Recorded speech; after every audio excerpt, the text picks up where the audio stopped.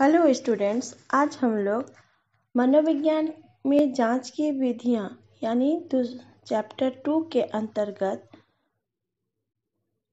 Data में द्वितीय प्रदत्त यानी सेकेंडरी डेटा को समझेंगे।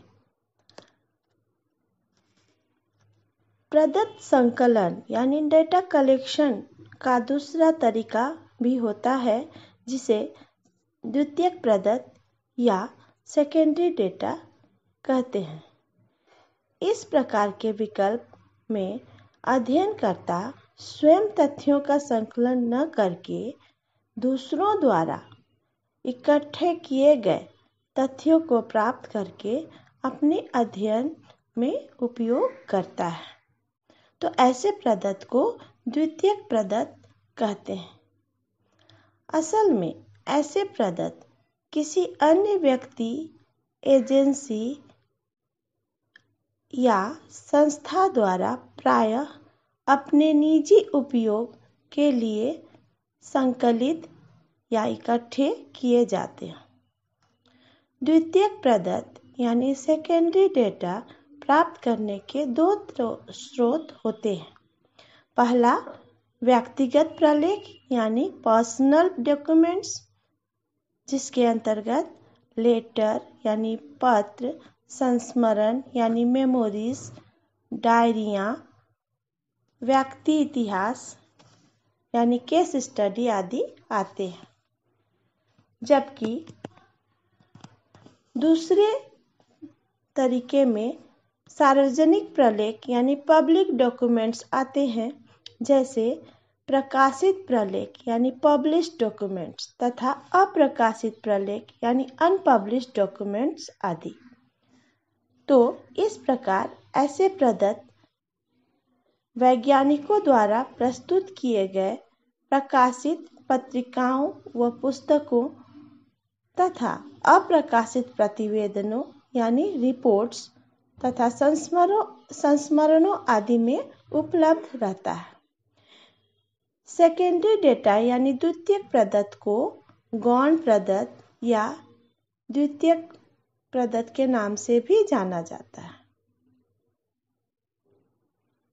पहला हम लोगों ने क्या देखा था? प्राथमिक प्रदत्त और दूसरा द्वितीय प्रदत्त। प्राथमिक प्रदत्त को मौलिक प्रदत्त, क्षेत्रीय प्रदत्त, प्रथम स्तरीय प्रदत्त, आधार प्रदत्त आदि नामों से जाना जाता है। वहीं द्वितीय प्रदत्त को सेकेंडरी डेटा गौण प्रदत्त और द्वितीय प्रदत्त के नाम से भी जाना जाता है। तो इन दोनों तरीकों के द्वारा मनोवैज्ञानिक अध्ययन के लिए डेटा यानी प्रदत्त इकट्ठे किए जाते हैं। और इन प्रदत्तों का काम रिसर्च में किसी भी प्रकार के जानकारी के लिए उपलब्ध होते हैं, जिनका प्रयोग किया जाता है विभिन्न तरह के अनुसंधानों में। ओके? अब हम लोग मनोविज्ञान की कुछ मनो, महत्वपूर्ण विधियों का उल्लेख करेंगे। हम वहाँ समझने की कोशिश करेंगे कि क्या क्या मेथड्स हैं जो कि मनोविज्ञान यानी साइकोलॉजी में उपयोग में लाए जाते हैं। तो विभिन्न विषयों के अध्ययन के लिए विभिन्न विधियों का उपयोग होता है। इसी प्रकार मनोवैज्ञानिक अध्ययन के लिए कुछ वैज्ञानिक विधियाँ भी होती हैं, जिनमें प्रमुख है अंतर्निरीक्षण विधि। दूसरा है वस्तुनिष्ठ प्रेक्षण विधि, यानी ऑब्जेक्टिव ऑब्जर्वेशन मेथड। तीसरा है प्रयोगात्मक विधि, यानी एक्सपेरिमेंटल मेथड। चौथा है सहसंबंधात्मक विधि, यानी कोरिलेशनल मेथड। पांचवा है सर्वेक्षण विधि, यानी सर्वे मेथड। छठा है मनोवैज्ञानिक परीक्षण विधि, यानी साइकोलॉजिकल टेस्टिंग मेथड और सातवां है व्यक्ति इतिहास विधि, यानी केस स्टडी मेथड तो हम यहाँ सबसे पहले देखेंगे इंट्रोस्पेक्शन मेथड यानी अंतर्निरीक्षण विधि। अंतर्निरीक्षण विधि। मनोविज्ञान की प्राचीनतम विधि है। जैसा कि इस विधि के नाम से स्पष्ट होता है कि यह दो शब्दों के मेल से बना है। अंत यानी आत्म यानी इंटर प्लस निरीक्षण यानी इंस्पेक्शन अतः इसका शाब्दिक अर्थ हुआ अपने आत्म का स्वयं निरीक्षण करना। ठीक है?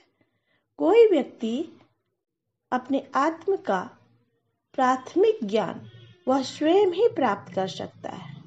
इसीलिए मनोविज्ञान में व्यक्ति के व्यवहार का विश्लेषण संपन्न करने के लिए अंतनिरीक्षण द्वारा प्राप्त ज्ञान का विशेष महत्व है। इसके अंतर्गत व्यक्ति स्वयं अपनी भावनाओं का आत्मगत निरीक्षण करता है।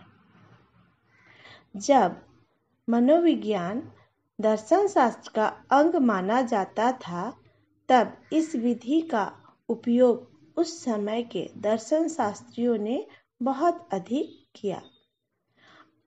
आत्मा के अध्ययन के लिए कोई अन्य उपयुक्त विधि उस समय नहीं थी और न ही हो सकती थी। इस विधि का मनोविज्ञान में प्रथम प्रयोग वुंट ने किया है।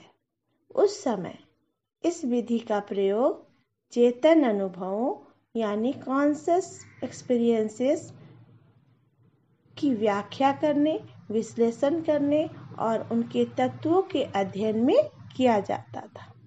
ओके स्टूडेंट्स अगले क्लास में हम इसके विषय में फिर से पढ़ेंगे। That's all thank you